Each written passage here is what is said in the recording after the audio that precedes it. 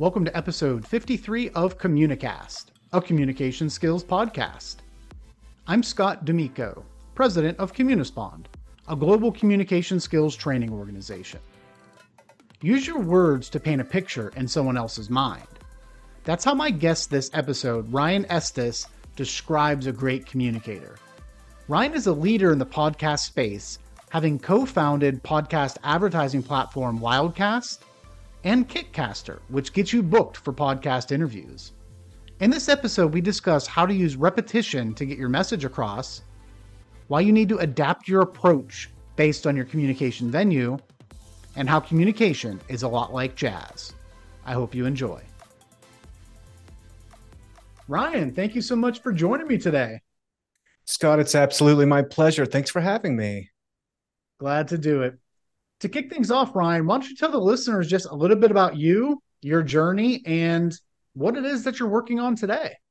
Happy to do it. So, my name is Ryan Estes. I am the co founder of a podcast advertising platform called Wildcast and a podcast booking agency called Kitcaster. So, I live in the podcaster space. In addition to that, I have a wonderful wife. I've been married 18 years. We just ce- celebrated our anniversary and I've got two kiddos that are in high school. Um, so you know, if I'm not working, I'm usually kind of toting them around uh, to all of their social and sports commitments. Um, besides that, I'm an avid outdoorsman. I live in Colorado. If you kind of looked up, you know, Colorado guy in the dictionary, you'd see a picture of me with my fishing rod and going hunting. And I like to be in the in the in the outdoors as much as possible. Um, I, I train martial arts here in Denver. And uh, aside from that, I try and get out as much as I can with my buddies and listen to some jazz, maybe have a little uh, Japanese bourbon here and there, I guess, or Japanese whiskey, as it were. Yes. Uh, that's that, that's that's my story in a nutshell. That is quite interesting. You definitely stay busy, and with having two kids in high school, you could probably add like part-time Uber driver or chauffeur chauffeur to that resume list. I'm sure that that definitely keeps you on the move it never ends. And I, uh, my daughter turned 16 in june so she she gets her driver's license when she gets all of her prereqs buttoned up with the state i think in october. So a part of her getting a vehicle is going to be toting her little brother around. So I, i'm there's a light at the end of the tunnel. Yeah i'm i'm still a few years away from that but I'm looking forward to it. Looking forward to it maybe not looking forward to it at the same time but it's bittersweet i know. It's going to be kind of sad but I mean, some of the best times I've had with my daughters is driving her around to mm-hmm. school and her, her, you know, she's got a job now and she's got all her friends. So, you know, she's grown up. Absolutely. Yeah. The, the phases of life. It's, it's always interesting to, to chat with somebody that's going through very similar things. You mentioned a lot with, with your career background, really being in the podcasting space and both, you know, co-founding businesses, leading businesses, dealing a lot with this podcast area. So I would imagine in your journeys, you've come across some really great communicators and maybe hmm. some not so great communicators. But if I were to say to you, Ryan, paint the picture of what does a great communicator look like? What comes to mind for you? You know, a great communicator to me is someone who can uh, skillfully paint a picture in a person's mind. You know, I think the best communicator has an ability to find the essence of what's important they're trying to communicate and then very clearly and succinctly put that into somebody else's mind.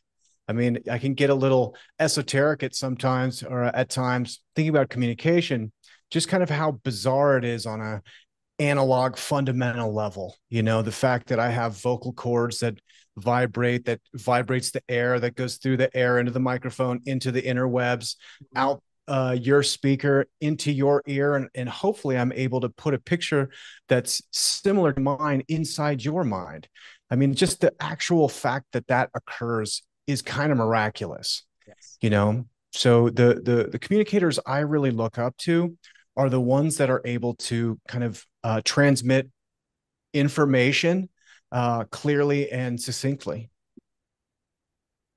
I love the paint the picture that you painted there. And the interesting thing is with so many steps in that journey from your brain to your vocal cords through the microphone into my ears, all that good stuff.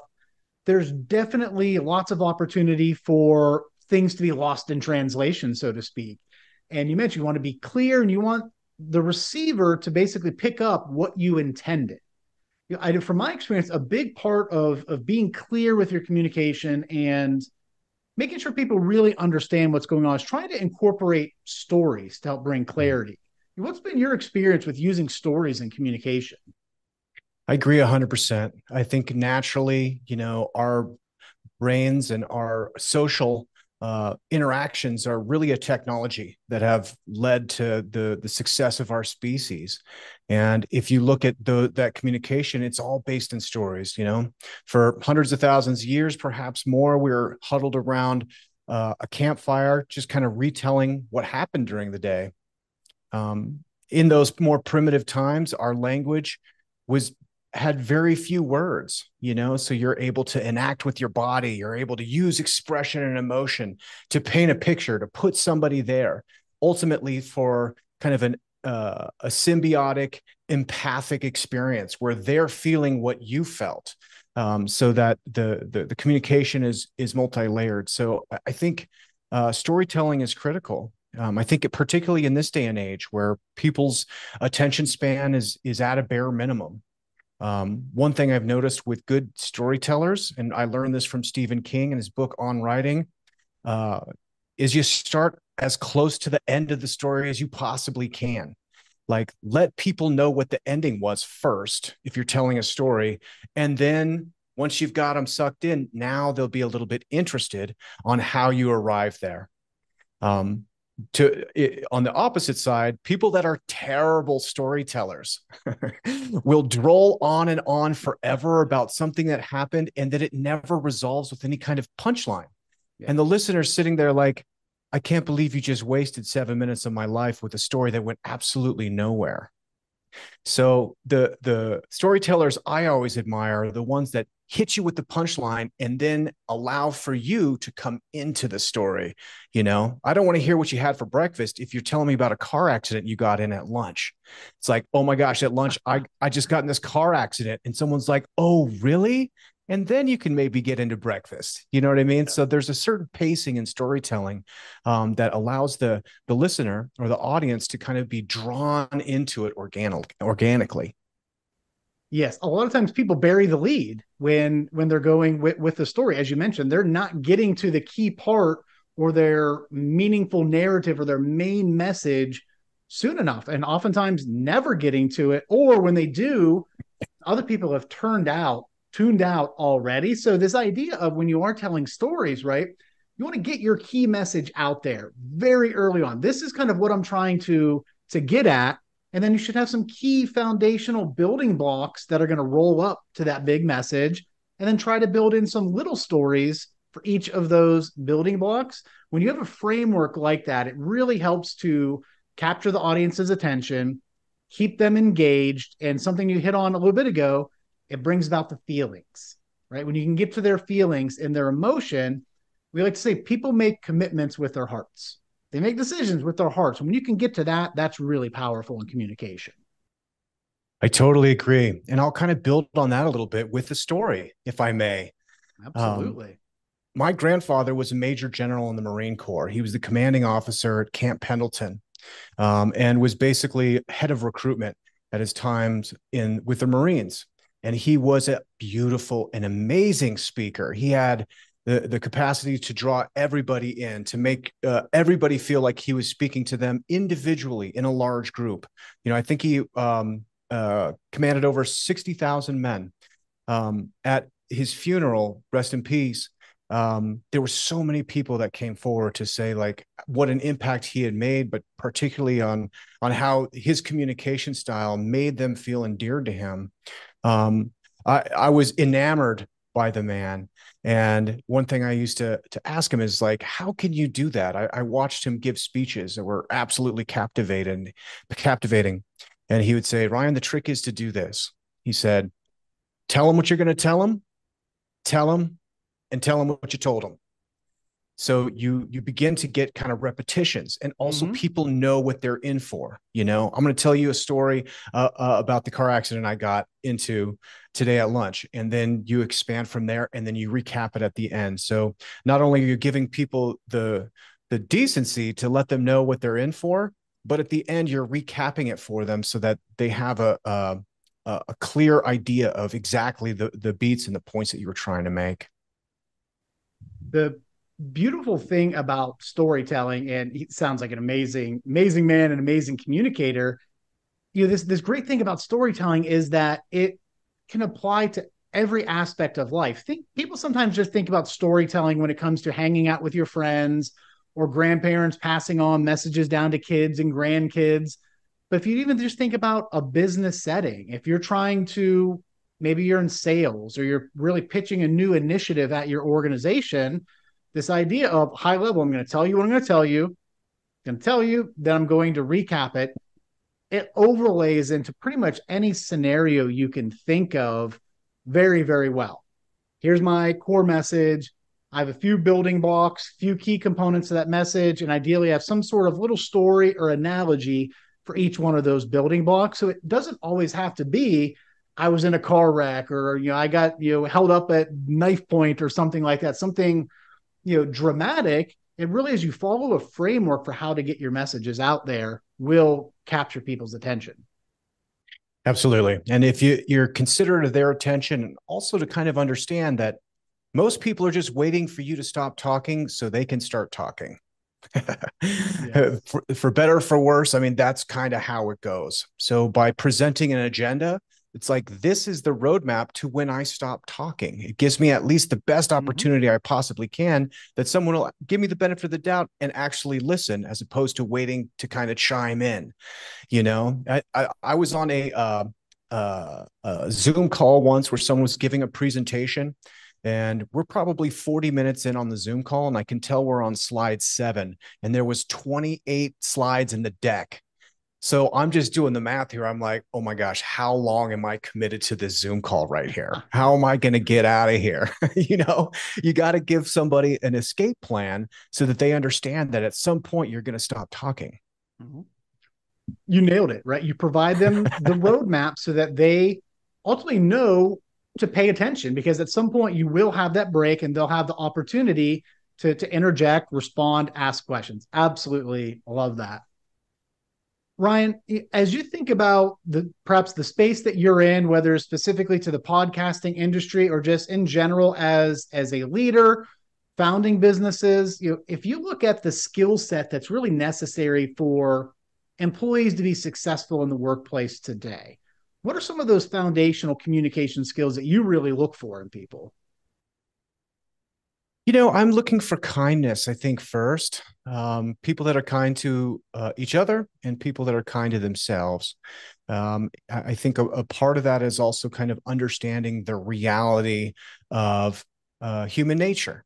You know, and we talked about a couple of those things now. Oftentimes they could be looked at as kind of negative, but if you take the judgment out of human nature, which is to say that people have very short attention spans, it's like work around those parameters you know? I, I kind of have a little say, saying that like you know you kind of got to tell somebody something 10 times before they hear you one time. Mm-hmm. um, and that's been very challenging because i it's like you start doing that and repeating yourself all the time. You're like boy are these people you know do they think i think they're stupid or something? Um, but rather it's actually comes out of a deep respect of understanding like how people are and you know particularly you know we're more and more we're we're communicating through zoom calls. And if i've got someone in, in front of me i might if i'm lucky i got 70 80% of their attention. If they're on a zoom call i might have 10% of their attention. Mm-hmm. maybe they're typing out emails as i'm talking and different things. So you know if i'm lucky 10% of my information is getting through. So if normally you know, I need to tell somebody something 10 times in order for them to hear it one time. Now I may have to tell them a hundred times for them to hear me one time. So that kind of repetition is is something that I like to try and put into my communication and something I like to express to to my team as they're presenting and to to not be pessimistic about it not not feel down about like why don't people listen to me? Why aren't people getting what i'm trying to tell them? Rather with a deep respect with how they are as people that it's up to you to to show repetition and consistency in your communication so that they can get it. And i think this point is is best underlined by music you know? Like if you if you take blues music for example they always repeat the first stanza twice and then they got a conclusion at the end you know and then they're going to come back to that in the chorus. There's a lot of repetition you know in music they call them hooks because this is the thing that you latch onto. And there's definitely been songs for me that i've enjoyed for decades that at some point it clicks and i'm like oh my gosh i just figured out like what they're saying in that lyric and so that might have been a thousand times yeah. that i had to hear it before it clicked one time you know and I, I don't think anybody else is too dissimilar to me especially if i'm introducing new information you know so understanding particularly within within side teams if you're creating change that's going to throw off their capacity to to to hear you. Um, and out of respect of everybody out of respect for yourself understanding that like with slow consistent uh, repetitious communication this is your best best bet to be able to kind of really have those uh, light bulb moments for people that are like I get it. And I will say, with an 11 year old and a 14 year old at home, I get lots of practice with repeating myself over and over again to try and get that message through. And you know, what I found is definitely repetition helps. Two, providing context helps. The reason I'm saying this so much, or the reason every time you walk out the door, I say this to you is you make good decisions or whatever it is is that X, Y, and Z. So as you provide context, in addition to repeating something when it is important. And then I think the third layer is looking at multiple different communication channels, right? So if you're in a business, you might do something on an all hands call. Then it's going to be followed up by an email message that goes out. And then perhaps something is later on Slack. Then it's coming back up again in a text message when you see somebody in the hallway on a Zoom meeting. So leveraging not just repetition, providing the context, and then also layering in how do I use the, all the different communication channels at my disposal today. Yeah.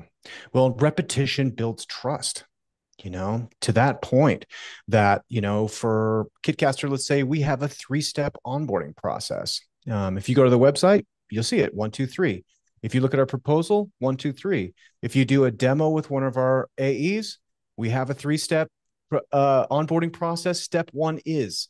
So, although they're not going to consciously recognize that, like, oh, in all these different places, there's a three step process um, that is telling me the same thing. It it feels familiar when somebody's beginning you know so mm-hmm. again it's building trust building consistency showing intelligence sh- showing systems and processes showing that basically if you're going to do business with this person you you know what to expect um, because things are going to be laid out in a way that's uh, digestible and understandable to you absolutely when you have that consistency your words match your actions and you do that time and time again definitely going to lead to to that trust Absolutely. Ryan, if I were to ask someone close to you, whether it is you know maybe a family member, someone that you you've worked with for quite some time, you know, what would be the one skill that has helped Ryan get to where he is today? You know, what might they share with me is that core foundational communication skill that's led to your success?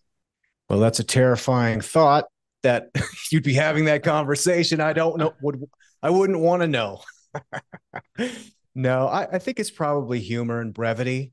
Um, I think that's been really successful for me and bringing that into my communication. Um, largely, it, it, makes me really attached to communication because there's a certain spontaneity and wit uh, associated with being really present present in a conversation. Um, and I think it also uh, can convey just like a sense of friendliness and mm-hmm. again trust you know of like hey this is kind of a lighthearted thing and i feel good and you feel good we can we can kind of have a fun time here um, mm-hmm. i think that's really helpful in communication professionally um, and i think it also really set the tone for how i like to parent you know because you know as a dad you know you got bedtimes and it's obnoxious when your kid's seven years old and you're trying to get him to bed and it's 1030 you know at some point you know you're just going to be like oh, just go to bed you know you feel that that feeling um, but particularly with with my kids they kind of took after me and like they're talkers you know so mm-hmm.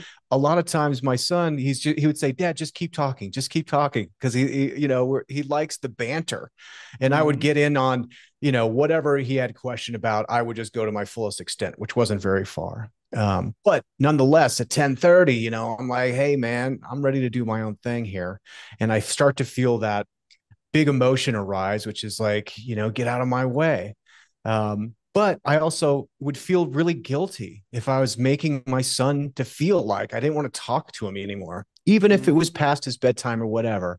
I, I always wanted to make sure that like he knows that I like to hang out with him, you know? So one thing I used to do is when I was starting to feel that thing come up and of course your your the, the the tone of your voice changes your body language changes these kind of things and he can tell which ramps him up more. He's getting more and more agitated no, noticing that dad's trying to get out of here dad's getting more and more agitated. And so i would say i would say son it's time to go to bread. And then he'd get a little twinkle in his eye. He's like did you say bread? And i'm like no it's bread time it's time to go to bed so there i was able to like kind of have fun with the sternness you know but also the sternness is coming through where he does understand it's time for bread yeah. um so he could go to bed and we could kind of laugh about it but like you know um there there's truth in the emotion um but humor is just enough to take the edge off to mm-hmm. to at least when he was a small boy let him know everything's fine you know we'll do this again tomorrow night we'll, it'll be bread mm-hmm. time tomorrow night too um so i think probably if you if you talk to the folks around me, I, think humor would probably be what they might say if I if I was being generous with their opinion. that is that's fantastic. Time for bread. As,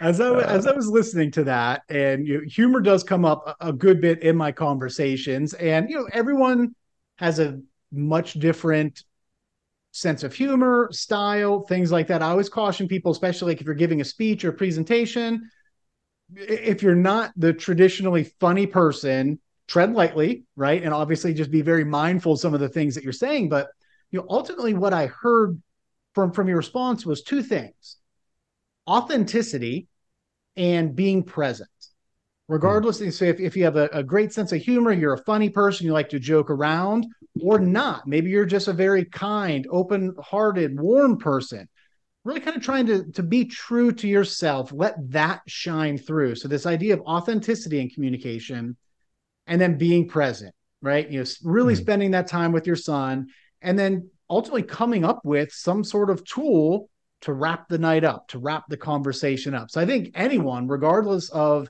your communication style, or if you just focus on being authentic and being present, it's a huge, huge benefit to to your communications.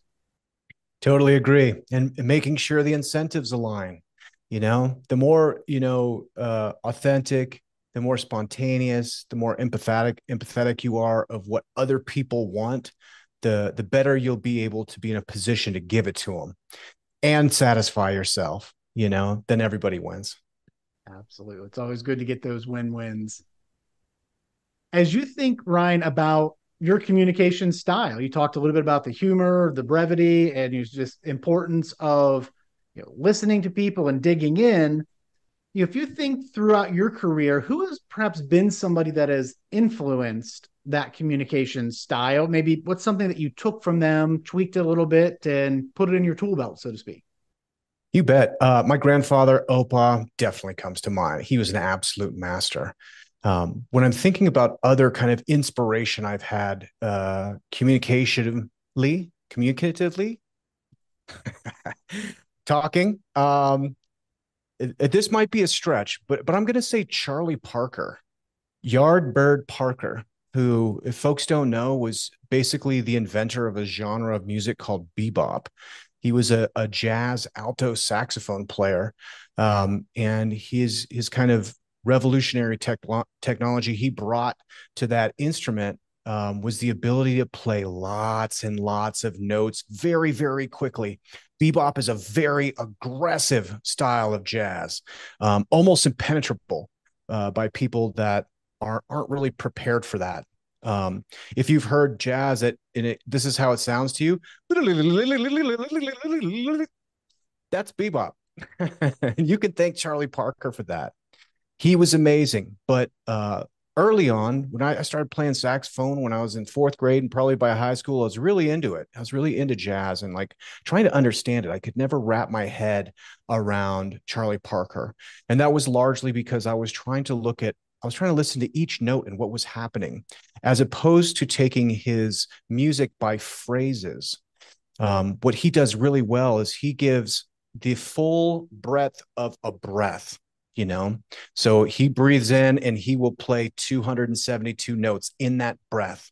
But it's not about the notes it's the, about the contour of the melody and the way that it's moving with uh, the uh, chordal structure of the music that's giving you an expression and a feeling um, and then the way he ties those phrases together becomes uh, a larger picture so by kind of uh, expanding my uh, vision, so to speak, outwards as opposed to being so granular, like allowing this music to roll over me, I start to get a, a really good idea of the the feeling he was trying to communicate. Um, which was helpful for me because I am also guilty of using a lot of words in my sentences or being verbose or not knowing when to stop, but also uh, the ability to like add melody into um, into those kind of monologues, for lack of a better word, to kind of help give some stability to a listener. So Charlie Parker, plus it, it was really encouraging to me when I started to to read about him, read his uh, biographies, and to know that like he was also a talker. He would have been an amazing podcaster. He never shut up. So he talked exactly like he played saxophone, which is with these beautiful um, multi-syllabic uh, phrases. So when I feel like I'm at my best, I'm using melody and I'm using phrasing in my communication to hopefully help kind of connect with the audience.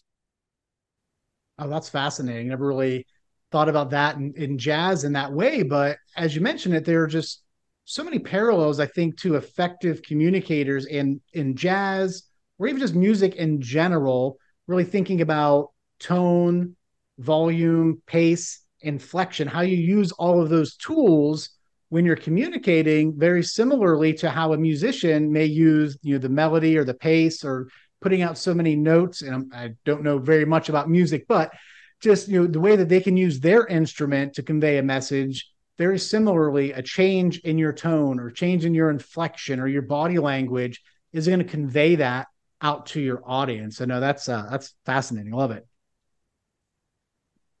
Ryan, as we're wrapping up here, what piece of closing advice would you have around the importance of communication skills, the impact that, it, that they can have on someone's career? And you know, this could be for somebody that's coming out of school, thinking about do I go to college? Do I enter the workforce? Do I start my own thing? I could be mid career looking for a change. I think these are pretty universal concepts. So, what, what advice would you have for them really around communication skills? I think if if you have intention of being a good communicator, you know, start by being kind and patient to yourself. It's going to take a lifetime to figure it out. If you got grandpas, there's a reason why they only speak in puns because they've grown tired of normal communication. now everything is just riffing. Um, so realizing that like becoming a good communicator takes a long time. The second part is really um, learning how to listen intently um, and and figure out the communicators that are important to you and try and devise what they're doing. How are they how why are they so so good at communicating? Um, we again we have the the the great benefit of of podcasts and audiobooks and there's just so much audio where we can really focus in as opposed to video where you kind of get bedazzled by the visuals. Mm-hmm. But really, studying audio is a great way to try and kind of uh, reverse engineer the techniques people are using to, to communicate. Um, that could be a big help. And then I think the third thing really is understanding that everybody wants what you want. If you want to be a good communicator, that means you want people to listen to you. So go listen to them you know and and the way you can show that you're listening is by asking good journalistic follow-up questions by um, doing what you're doing is providing synopsis on the end of someone's uh, sentence to kind of summarize what they just said. There, there's nothing that that signals communication better than repeating what somebody just said right back to them. Um, it, it's a feeling of ease. It's a feeling of trust. Again, that like, okay, my vibrating vocal cords are vibrating your eardrums in a way that I wanted it to. It's very reassuring feeling. So understanding as a, to be a good communicator, you got to understand what it means to be a good listener, and then hopefully somebody will reciprocally do that for you someday. Fantastic advice. And one of the beautiful things about all of this is that there are countless opportunities to practice these skills, whether it is just finding a friend and having a conversation, try to eliminate those distractions, making sure that you are listening intently. And with so many podcasts out there, and as you were mentioning that, it, it came to me that I kind of do this is that I'll be listening to a podcast and I'll find myself kind of just in my mind responding, like, I would have said this or I would have said that. And I find that if I, and one of my favorites is Conan O'Brien Needs a Friend. I think he's just such a great communicator, great storyteller, very humorous. And sometimes he'll say something that in my mind, I respond before the guest or respond before somebody on his show. And I'm like, oh, yeah, that was better. Or uh, I was in line with maybe what he was saying. So there's these great opportunities just to listen to something that's already been recorded. Listen, take it in. You can then pause it and think of what would I ask back? What would I say in response to that? So like I said, so many opportunities out there where you can practice, practice, practice, because that will ultimately help you improve those skills. I agree 100%. You got to get the reps. I'm a big fan of that. Like I said, before we jumped on, we were both talking about uh, our, our, kids and sports. And you got to talk about it. You got to get those reps in. The more reps you get in, the more comfortable you're going to get. You're going to build that muscle memory. And then it starts to come naturally. So, absolutely. That's it. Ryan, thank you so much for joining me today. Really enjoyed the conversation. I hope you have a great rest of your day. Yeah, thank you so much, Scott. I really did enjoy it and, and wonderful to meet you. I appreciate it. Take care. A special thanks again to my guest, Ryan Estes. Ryan's points about storytelling are spot on. You need to consider your audience and give them a roadmap of where you are taking them in order to keep them engaged. As always, if you are looking to improve your communication skills, be sure to subscribe to Communicast so that you can continue to learn from my guests with each new episode. And if you found value in the show, leaving us a rating or review would be appreciated. Thanks and have a great day.